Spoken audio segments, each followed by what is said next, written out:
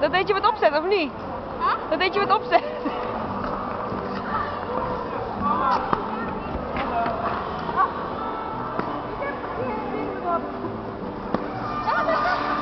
Nog een keer! Ik doe zo meteen weer gewone mensen. Ik heb het